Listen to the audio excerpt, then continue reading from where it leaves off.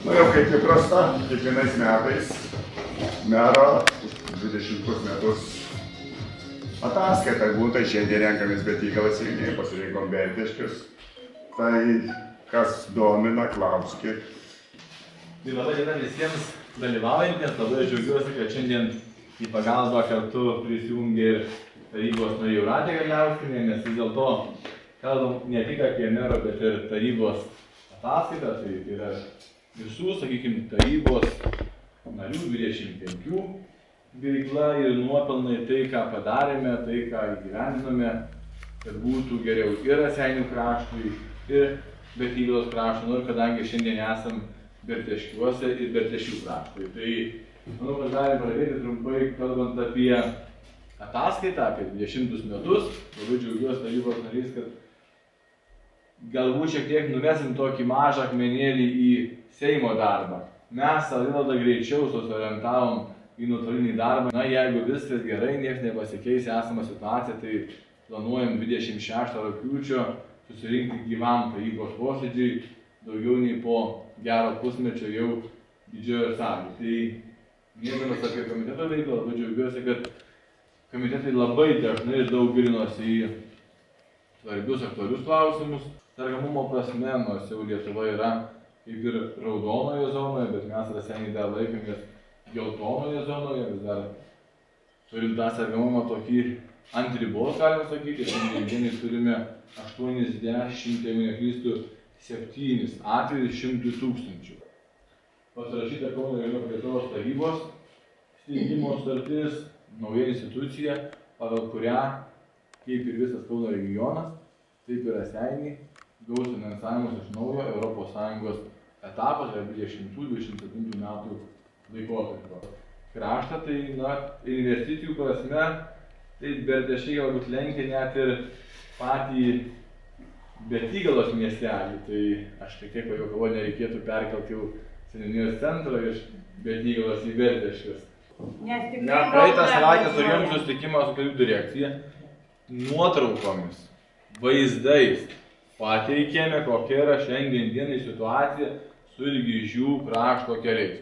Mūsų patikino, kad greitų laikų sureaguos ir tvarkys. Šiandien gavom atsakymą, kad 11-13 dienomis tas kelias bus sutvarkytas. Tas valstybės kažkaip nu- nusitarusios yra, kodėl Lietuva Va, negali. Nu tai mes matot, kad mūsų tarybos sprendimai būtų... Negalioja?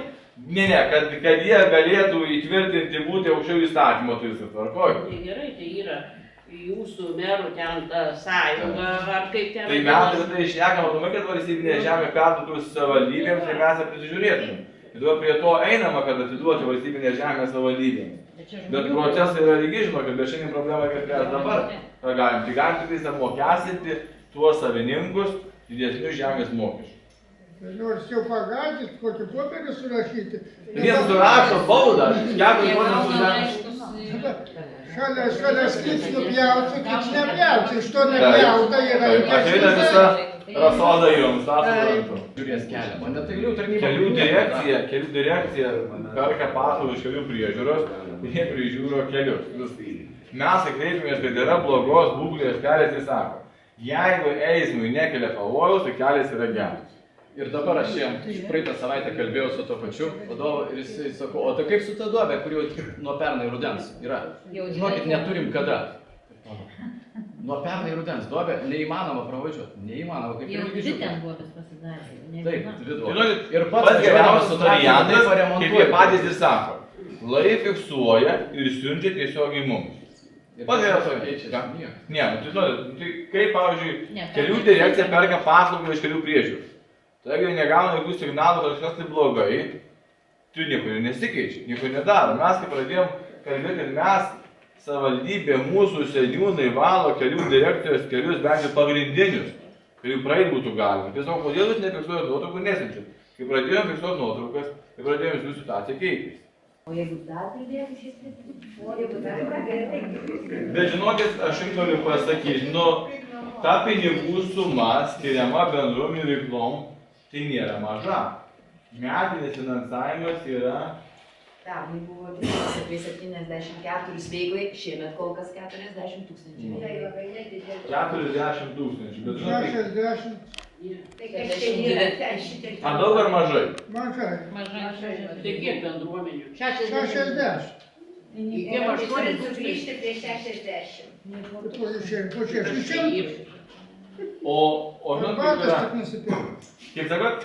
Arbatas tik nusipirkt. Tai, žiūrėkit, va čia yra tokia didžiausia problema, kad, kad kartais mes kai kurios bendruomenės, nu, ne tom realiom veiklom, kaip sakot, va, arbatom išėjime. Sekanti kadencija priklausys nuo jūsų. Tai daug darbų užsiplanuos, tai reikės rinkti. Tai viskas jūsų valiai. Ar turim klausimų dar? Klausimų, Dar pastebėjimų. jūs- nepašnekėjom apie vėjo jėgainės. Čia tie vadybininkai taip prekėtoja, taip prekėtoja, kad Jėzus Marija greit reiks į bunkerius eiti. Kai man dabar sako, o, skiepija prievartą. Sakau, gal kažkuriuose miestuose žmogų pagauna, suriša ir suleidžia vakciną. Rasenis ne vienai paskiepino prievartą. Taip ir čia. Nei, atsimenat, kai buvo, kai viena vienu kartu rajone norėjo, Žigantė kažkokia norėjo, tas dujas priešimo būdų. Tai bendruomenė susivienijo ir nieko nepadarė. Nu.